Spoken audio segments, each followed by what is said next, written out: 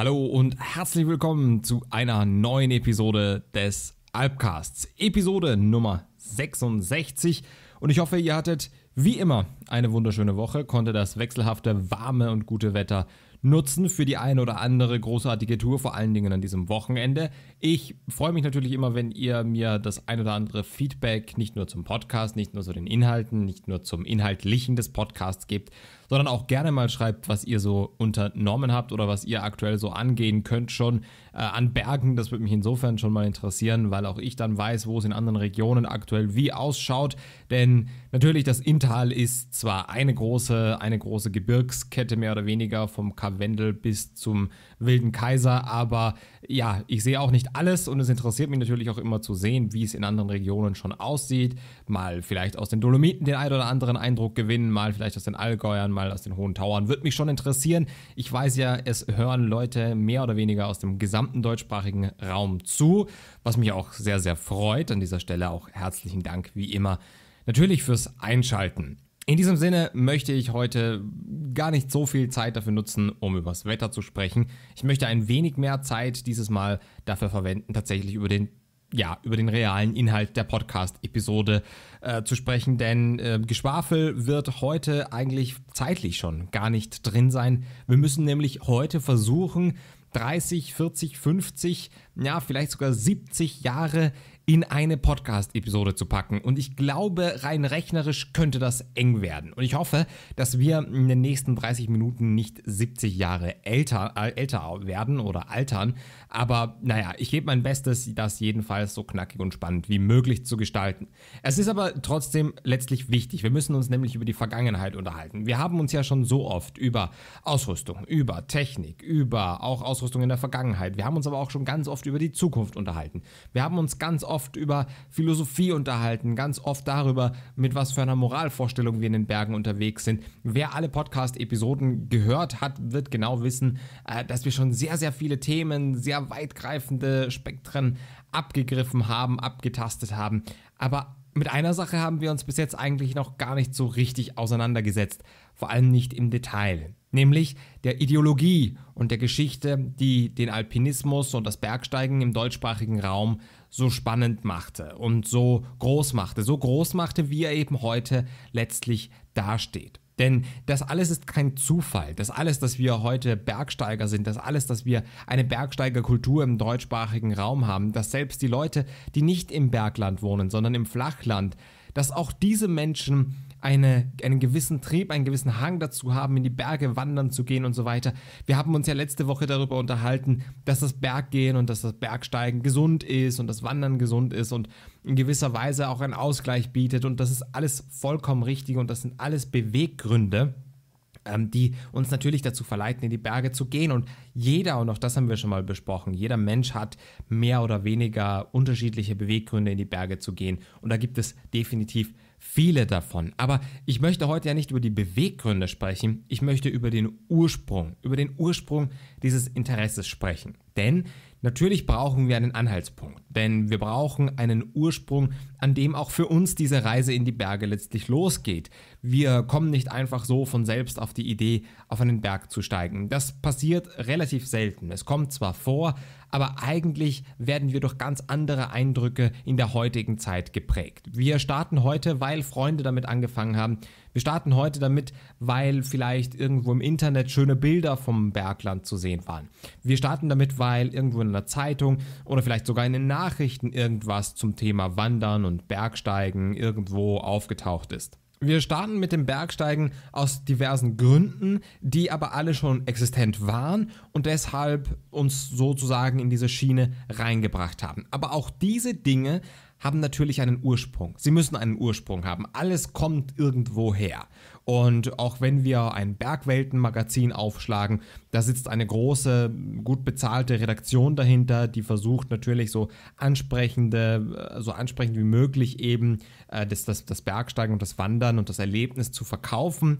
Und auch diese Menschen, die da dahinter sitzen und der Redaktion, auch die werden durch irgendetwas beeinflusst, durch irgendetwas äh, geleitet und sei es ein Chefredakteur, der vielleicht hier ein paar Vorgaben macht und auch der wiederum hat seinen Ursprung und seine Ideen und seine Eindrücke von der Bergwelt. Und deswegen möchte ich heute eben nicht darauf zurückgehen, wie kommen wir eigentlich, wie komme ich zum Bergsteigen, wie kommen meine Partnerin oder, oder wie kommt euer Partner oder mein Nachbar zum Bergsteigen.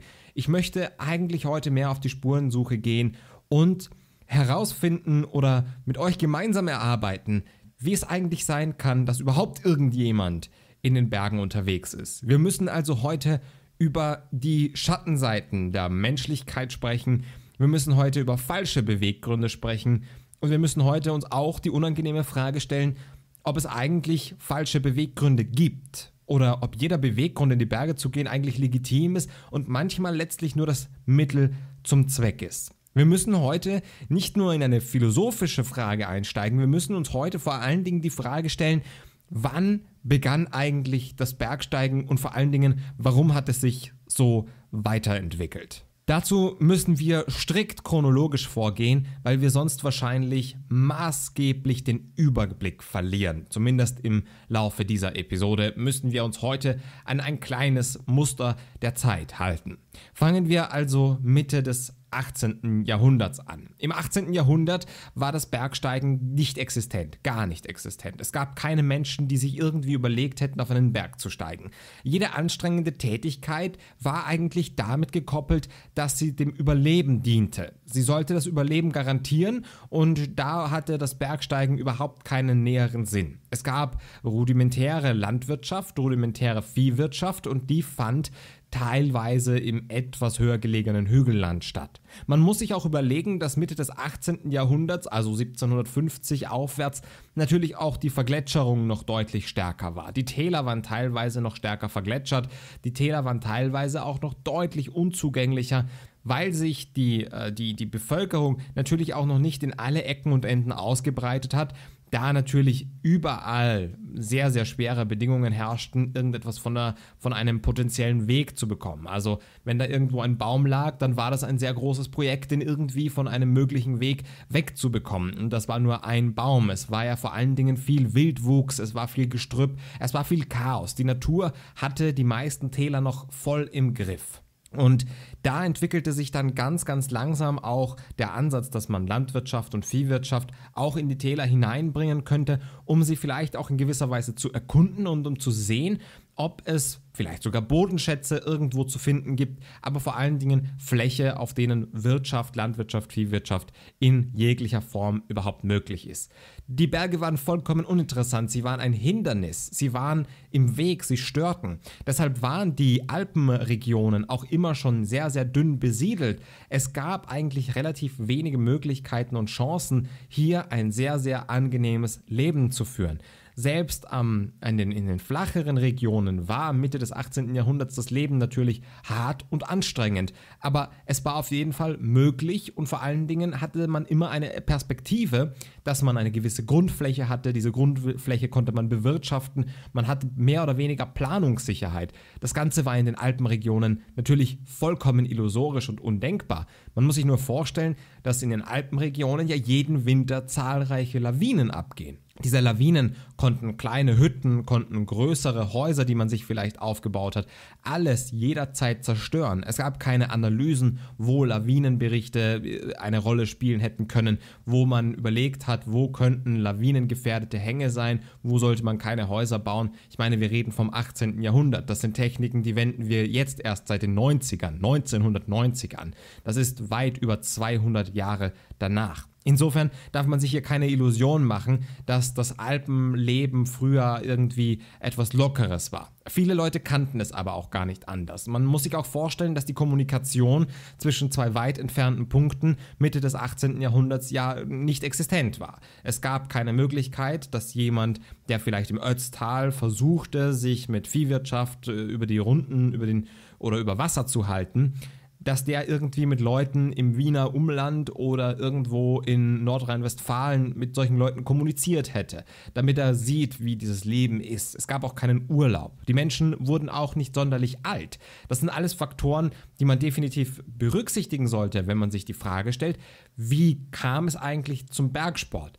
In erster Linie gar nicht. In erster Linie war waren die Berge im Weg und dabei ist es vollkommen egal, ob das die Allgäuer Alpen waren oder der Alpenhauptkamm, die Ötztaler Alpen, die Stubaier Alpen. Es war vollkommen egal, sie waren grundsätzlich immer im Weg. Sie waren ein großes Risiko für die Menschen aufgrund von Lawinen, aufgrund von Muren, aufgrund von Steinschlag, den es natürlich auch damals schon gab und es gab keine Möglichkeit, diese ganzen Punkte auch adäquat einzuschätzen sodass es letztlich dazu führte, dass diese Gegenden immer gering besiedelt waren und vor allen Dingen von sehr, ja, ich sage jetzt mal robusten, widerstandsfähigen Menschen besiedelt wurden und das waren eben nicht sonderlich viele. Auch die Geburtenraten waren in diesen Gegenden, grundsätzlich in den Alpenregionen, immer deutlich schwächer als beispielsweise am Land, im, im, im Flachland, im Wiener Umland, in Oberösterreich, in den nördlicheren Regionen von Bayern, in Baden-Württemberg.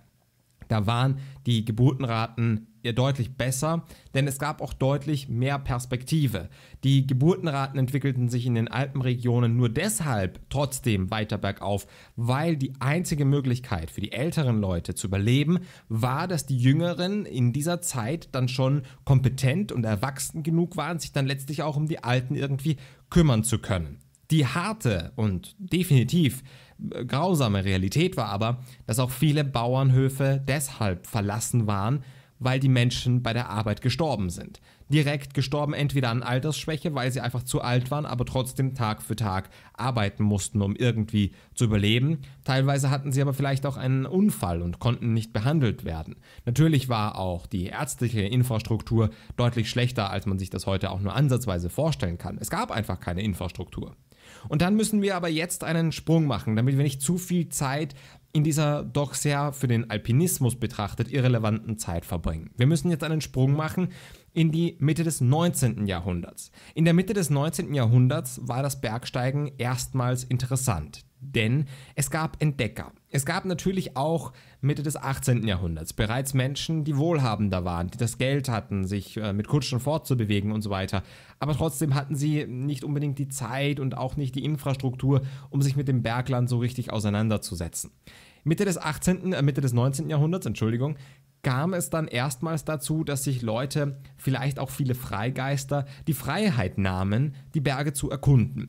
Es gab auch einen gewissen Trend zur Entdecker, zum Entdeckertum. Es gab auch einen Trend dazu, auch vor allen Dingen finanziert durch den Adel beispielsweise, Berge zu erkunden und erstmals zu sehen, was eigentlich auf den Bergen selbst los ist. Der Entdeckergeist der Menschen schritt hier in diesem Moment ein, war aber immer noch nicht wirklich äh, zweckbehaftet. Das Ruhmhafte des Bergsteigens, das war immer noch nicht da. Es gab keinen Ruhm für die Bergsteiger. Die Bergsteiger selbst erkannten für sich und vor allen Dingen auch für einen gewissen, ja, ich sage jetzt mal einen Lohn, eine, eine Entlohnung, dass sie erkannten, was auf den Bergen ist. Es ging mehr um die Erforschung der Welt. Die Erforschung der Welt schritt ja mit Magellan und auch mit Galilei immer weiter voran und das sollte auch in den Alpenregionen, das sollte auch im Bergland so stattfinden, denn die Neugierde des Menschen ist dann doch etwas völlig Natürliches und Intrinsisches und somit kam es dann eigentlich nur aus logischer Konsequenz dazu, dass der Adel oftmals eben finanzierte, dass Bauern, vor allen Dingen lokale Bauern, sich mit den Bergen im Umland auseinandersetzen sollten. Natürlich passierte das hin und wieder auch in der Freizeit, die es ganz, ganz selten gab, aber gerade in Süd Südtirol in den Dolomiten war beispielsweise das Klettern und Bergsteigen Ende des 19. Jahrhunderts bereits Thema. Es war auf der einen Seite das Thema, weil man eben auch Leute dazu anstiften wollte, sie äh, diese Berge zu erkunden. Da kann ich auf jeden Fall nur auf die Folge zum Ortler aus Berge im Porträt verweisen. Da sieht man beispielsweise ein Paradebeispiel dafür, wie das damals so ablief, dass im Prinzip vor allen Dingen äh, die, die Öster, österreichische Adel ähm, dafür verantwortlich war, dass einzelne Bauern und Bergführer und Jäger dafür beauftragt wurden, Berge zu erkunden, wie in diesem Beispiel zum Beispiel den Ortler. Aber natürlich gab es auch in den Dolomiten, wenn wir uns in den Sechsner Dolomiten ein bisschen umschauen, auch den ein oder anderen Berg, der vor allen Dingen aus der Freizeit, aus dem Interesse heraus und aus der Leidenschaft zum Entdecken und zum Erkunden er erklettert wurde. Teilweise waren das ja auch wirklich anspruchsvolle Routen. Beispielsweise die drei Zinnen der Paternkofel. Das sind Berge, die auch vor allen Dingen aufgrund der, des Interesses, der Neugierde letztlich bestiegen wurden und nicht, weil sie dafür bezahlt wurden oder weil es irgendwie besonders wichtig war zu sehen, was da oben ist. Gerade die drei Zinnen sind dafür ein gutes Beispiel, denn da sieht man auch von unten, dass da oben im Prinzip nichts zu holen ist und nichts zu finden ist.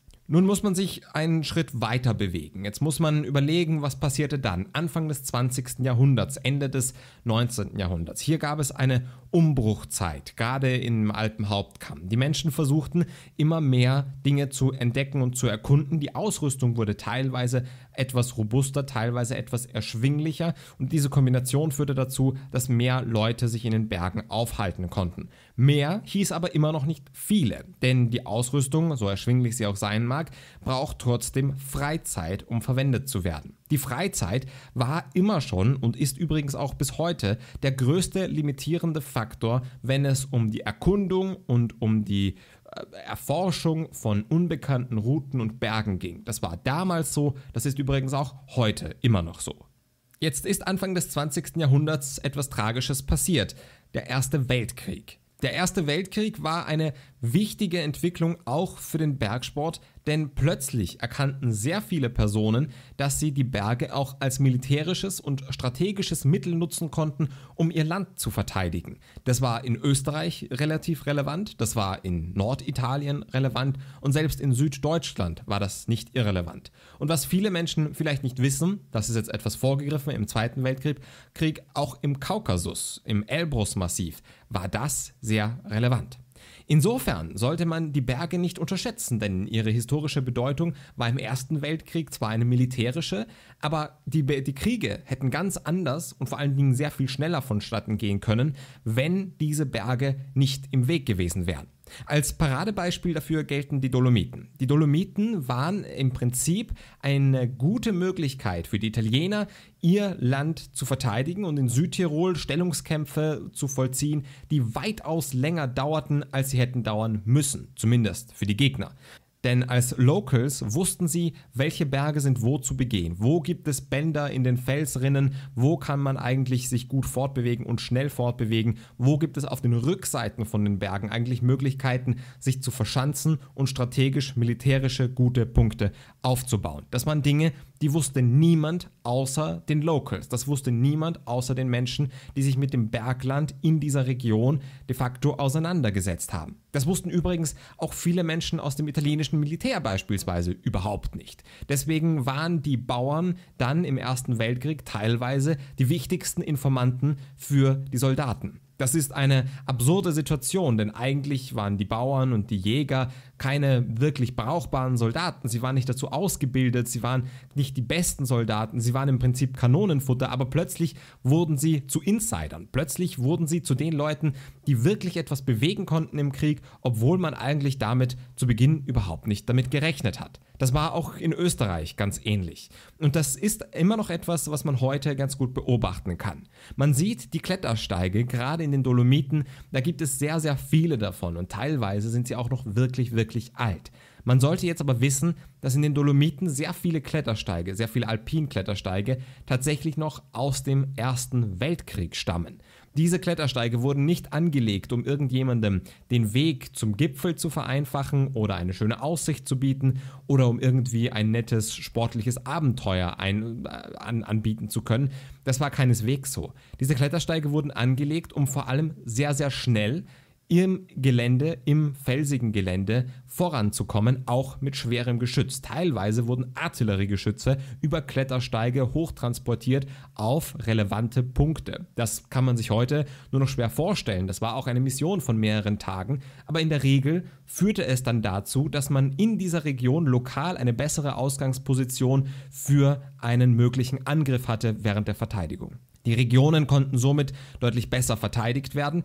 Die Menschen vor Ort waren mit Informationen ausgestattet, die der Feind niemals hätte haben können. Und dadurch, dass vor allen Dingen in Dolomiten sehr viele Berge sehr freistehend sind, hatten sie den Vorteil, dass sie allein wussten, wie der Berg rundherum aussieht. Dass sie allein wussten, wie sich der Feind bewegen konnte und wie nicht. Taktisch waren die Berge also das wichtigste Mittel im Ersten Weltkrieg für die betroffenen Regionen im heute Österreich, in heute, im heutigen Österreich, heutigen Italien, heutigen Süddeutschland.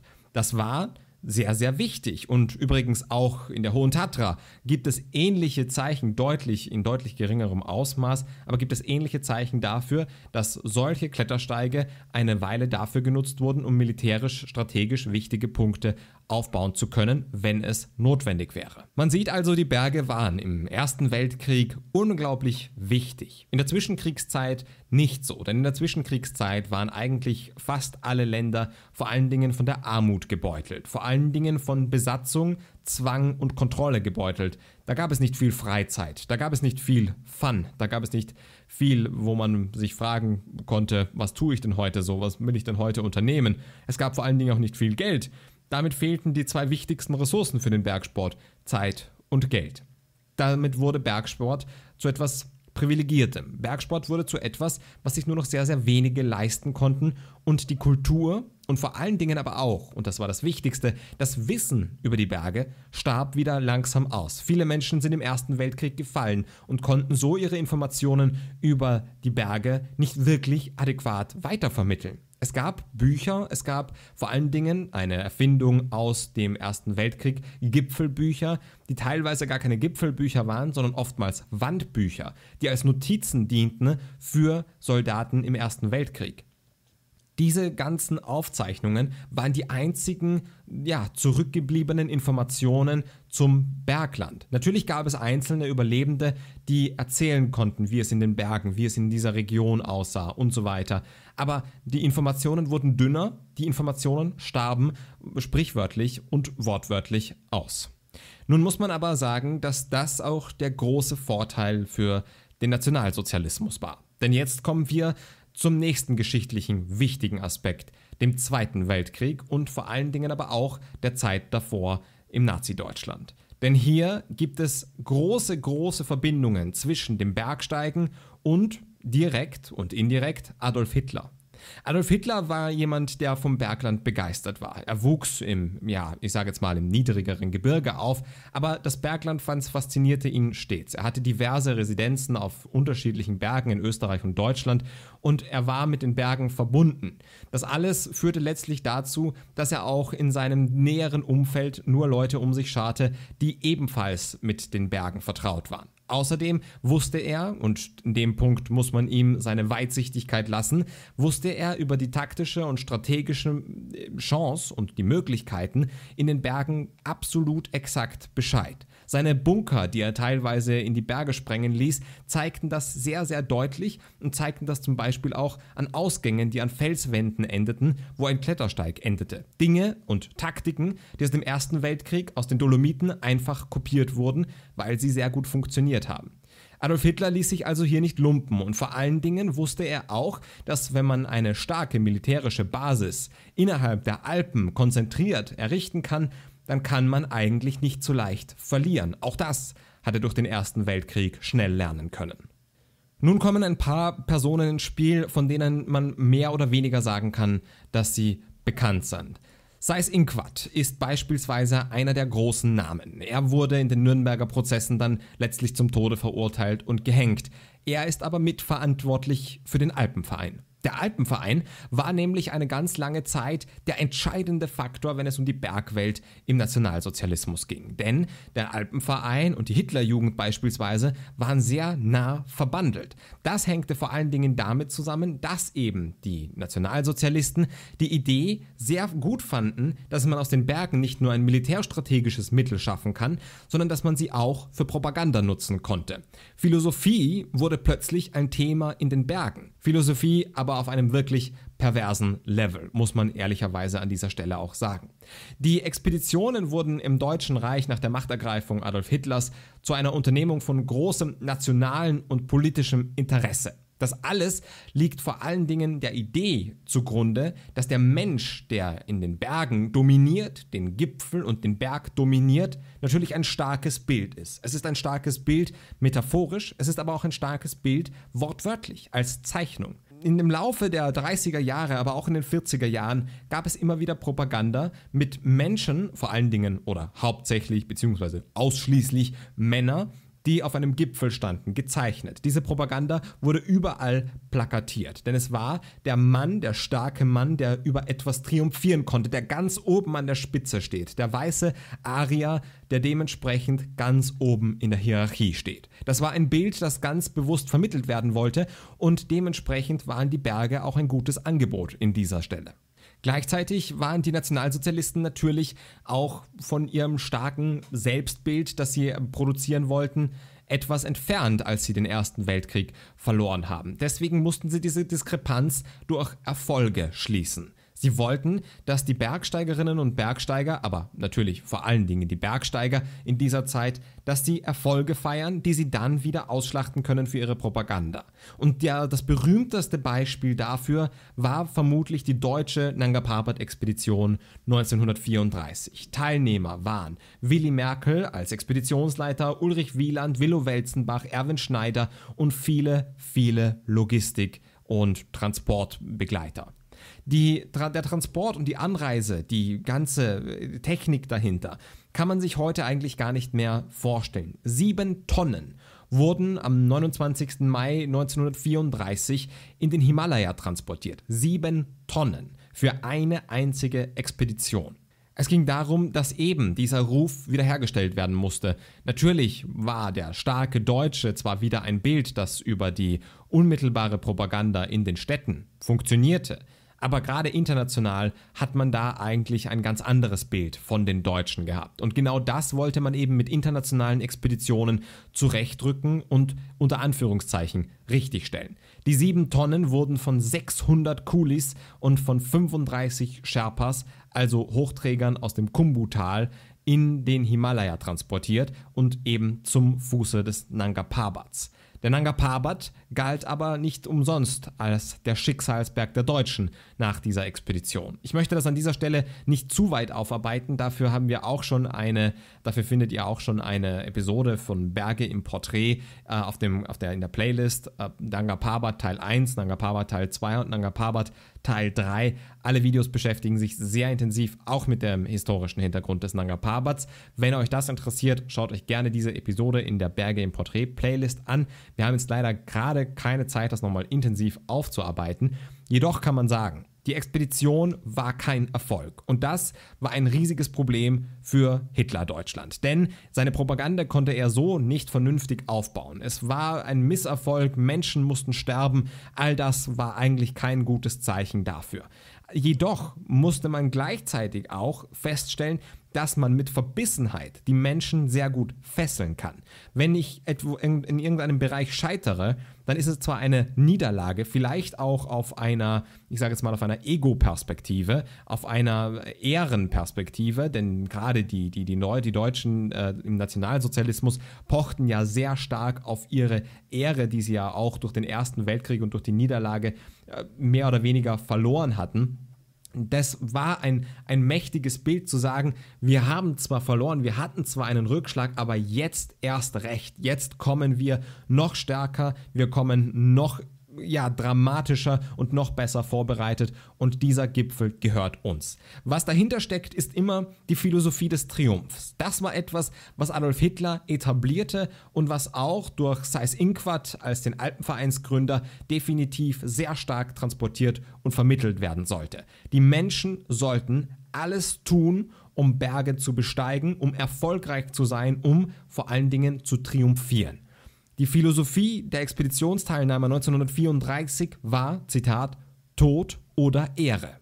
Das NS-Regime fand diese Ideen natürlich grandios, denn entweder die Menschen fallen für das Deutsche Reich oder sie kommen erfolgreich wieder. Beides war für das Deutsche Reich mehr oder weniger brauchbar, denn kamen sie wieder, waren sie erfolgreich. Kamen sie nicht wieder, konnte man die Geschichte vom tragisch scheiternden Deutschen, der eigentlich gar nicht gescheitert ist, sondern nur gegen die Gewalt der Natur verlieren konnte, weil er jedem Menschen überlegen war, das war natürlich eine Win-Win-Situation für die deutsche Propaganda. Und das war aber gleichzeitig auch das größte Problem für den deutschen Alpinismus. Denn langfristig starben so viele Menschen aufgrund des NS-Regimes in den Bergen wie bis heute wahrscheinlich keine mehr. Das Bergsteigen entwickelte sich also in der NS-Zeit, aber auch im Zweiten Weltkrieg auf der einen Seite natürlich zu etwas Heroischem, zu etwas Wichtigem für die deutsche Propaganda und wurde vor allen Dingen instrumentalisiert. Die Menschen dahinter wurden instrumentalisiert, aber auch der Sport, auch die Philosophie dahinter. Die Philosophie dahinter, die wurde übrigens in der NS-Zeit erfunden. Diese, dieser Gedanke, dass man, wenn man oben ist, hat man sozusagen gewonnen, dann ist man erfolgreich gewesen. Diese Dinge hat das NS-Regime erfunden. Das sind aber Dinge, die wir heute ganz ohne nachzudenken einfach weiter transportieren. Wir sagen unserem Kind, es ist nur erfolgreich, wenn es oben war. Oder wenn es oben ist, sagen wir, jetzt hast du es geschafft. Jetzt bist du tatsächlich ganz oben. Jetzt hast du den Erfolg, den du wolltest oder den wir erwartet haben.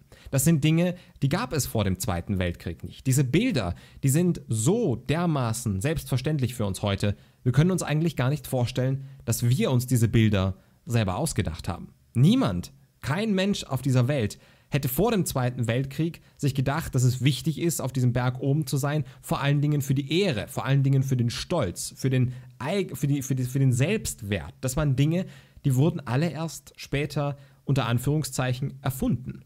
Natürlich muss man das jetzt nicht in, in den Kontext des Nationalsozialismus setzen. Das wäre natürlich vollkommener Blödsinn. Wir sind keine Nationalsozialisten. Ich möchte das hier an dieser Stelle auch nochmal ganz deutlich unterstreichen. Nur weil wir die gleichen Ideen oder die gleichen Hintergründe für unser eigenes Tun haben wie einzelne Bergsteiger im Nationalsozialismus. Das ist vollkommen an den Haaren herbeigezogen. Genauso wie es vollkommen an den Haaren herbeigezogen ist, dass wenn ich heute auf den Berg gehe und jemanden mit Bergheil begrüße, dass ich ein Nazi bin. Das ist vollkommener Irrsinn. Wenn ich einen Ausspruch gut finde, der vor allen Dingen schon lange, lange vor den Nazis gegeben hat, dann bin ich deshalb kein Nazi, nur weil ihn irgendjemand im Nationalsozialismus auch schon mal gesagt hat. Das ist vollkommen an den Haaren herbeigezogen. Die geschichtliche Bedeutung, auch aufgrund des Ausrufs Bergheil und aufgrund, also die geschichtliche Bedeutung des Bergsteigens, ganz allgemein gesprochen, basiert teilweise auf dem Nationalsozialismus. Da brauchen wir uns nichts vormachen. Wir dürfen diese Zeiten niemals und in keinster Weise verherrlichen. Jedoch müssen wir aber auch ehrlich zu uns sein und sagen, unsere Ursprünge des Alpinismus, so wie wir ihn heute kennen, kommen in Teilen aus dem Nationalsozialismus. Ausrufe wurden vom Nationalsozialismus instrumentalisiert. Das Bild des deutschen Bergsteigers in dem Fall, der erfolgreich auf dem Gipfel steht, das war ein Bild, das sich so eingeprägt hat, dass es heute immer noch in manchen Zügen existiert. Wir müssen uns nicht eingestehen, dass wir Nazis sind, nur weil wir so handeln oder weil wir so denken. Aber wir müssen uns eingestehen, dass diese Gedanken aus einer Zeit kommen und vor allen Dingen konstruiert wurden. Sie sind nicht natürlich. Wir haben kein natürliches Verlangen danach, auf einen Berg zu gehen. Das haben wir aber auch am Anfang des Podcasts bereits ganz deutlich dargestellt. Die Menschen hatten früher gar kein Interesse, auf die Berge zu gehen. Es gab dort nichts zu holen. Es war ein Hindernis, es war ein Problem in Wirklichkeit. Und deswegen ist es überhaupt nicht schlimm, und das möchte ich hier an dieser Stelle ganz klar betonen, es ist überhaupt nicht schlimm, dass wir unsere eigene Werte, auch unseren Selbstwert vielleicht teilweise, über das Bergsteigen definieren. Und dass das auch schon die Nazis gemacht haben und dass das auch schon die Propaganda dieser Zeit war. Dass es diese Parallelen gibt, ist in keiner Weise schlimm. Aber gleichzeitig sollten wir auch in diesem Punkt ehrlich zueinander sein. Doch sprechen wir weiter. Sprechen wir darüber, wie es danach weiterging. Der Nationalsozialismus zerfiel irgendwann in sich selbst, der Krieg war verloren, die Besatzungen begannen und das Bergsteigen rückte wieder in den Hintergrund. Die Menschen waren vor allen Dingen wieder mit Wiederaufbau beschäftigt. Die Berge waren weg, die Berge waren wieder nur Hindernis. Aber in erster Linie war man froh, dass man in den Bergen nichts mehr neu aufbauen musste, was irgendjemand kaputtgeschossen hat, denn da war ja nichts. Ergo hatte man weniger, weniger Fläche, die man wieder aufbauen müsste. Insofern könnte man fast sagen, man war froh, dass die Berge irgendwie da waren.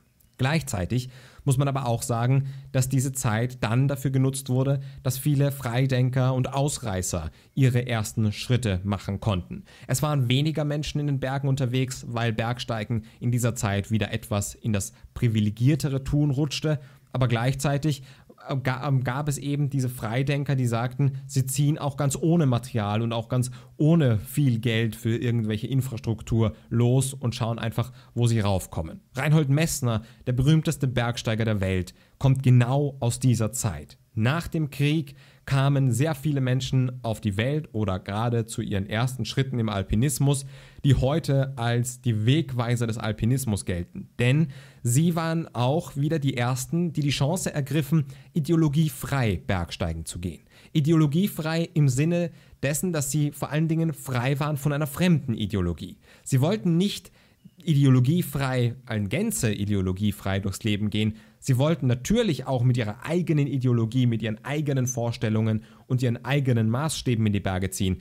Aber gleichzeitig wollten sie sich ganz klar und deutlich vom Nationalsozialismus und dem vor allen Dingen sehr stark gekoppelten Alpenverein, aber auch dem sehr stark gekoppelten, äh, ja, ich sage jetzt mal, dieser Verbundenheit unter Bergsteigern wollten sie sich absetzen und genau das gelang ihnen sehr gut. So schaffte es in den 70er und 80er Jahren der Alpinismus auch wieder dazu, sich etwas mehr vom Nationalsozialismus und von der Vergangenheit zu distanzieren.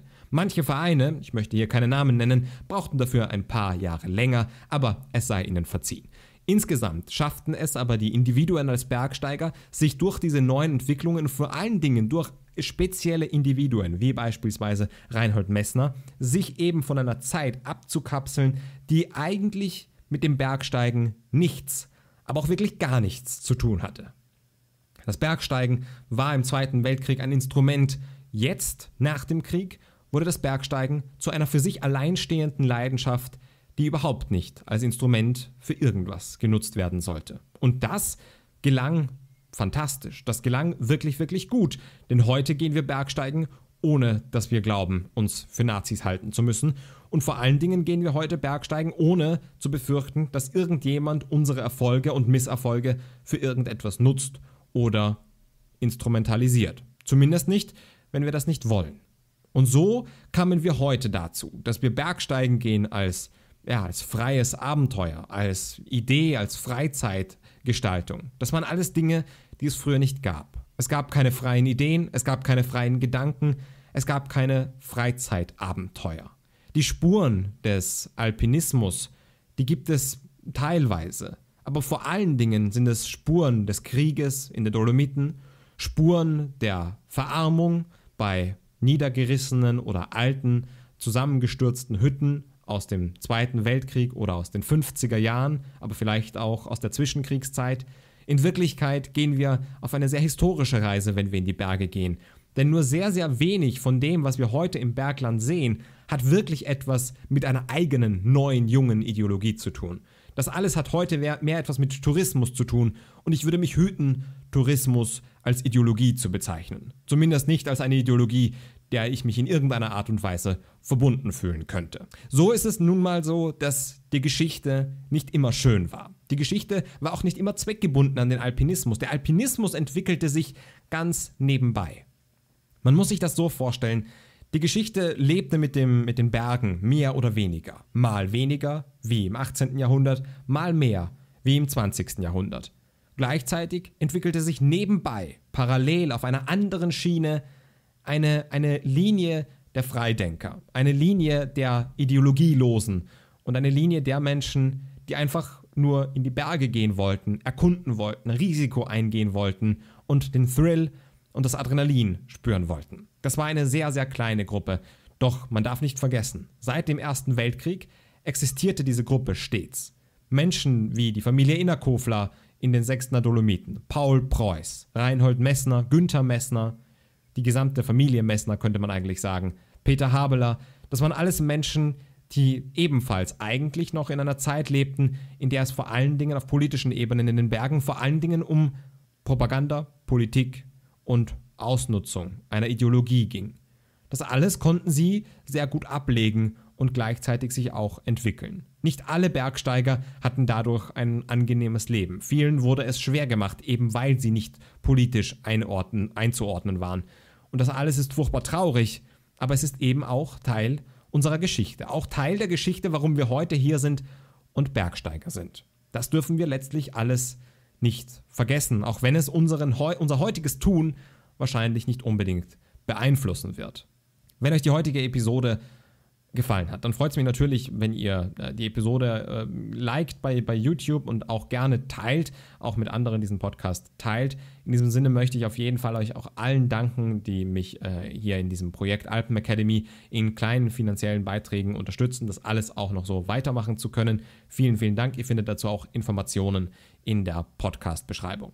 Bis zum nächsten Mal wünsche ich euch wie immer eine wunderschöne Zeit. Ich hoffe, ihr verzeiht mir die heutige Überlänge. Bis zum nächsten Mal, wie immer. Bergheil.